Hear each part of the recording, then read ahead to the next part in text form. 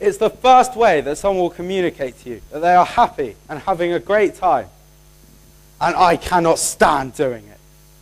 Smiling. Picture this.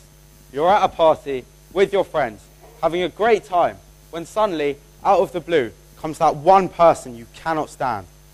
So, what do you do?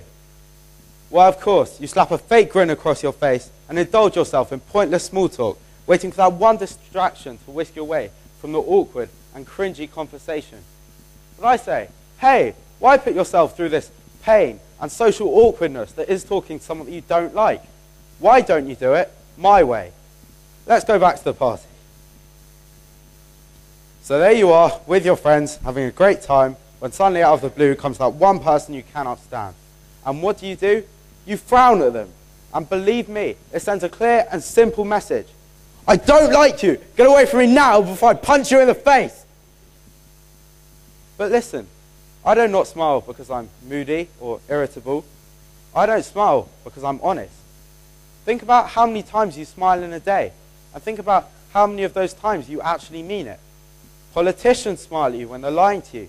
Salesmen smile at you when they're trying to sell you faulty goods. Is all of this smiling really that necessary? And finally, the last reason why I don't smile, it makes people appreciate it more when I do. Because when someone has made me smile, they know they have done one of three amazing things. They've either, one, performed an incredible act of kindness, either towards me or someone I care deeply for. Two, I've made a very witty joke or comment, sending me into hysterics. Or three, have injured themselves very badly. By me not smiling, people love it when I open my mouth.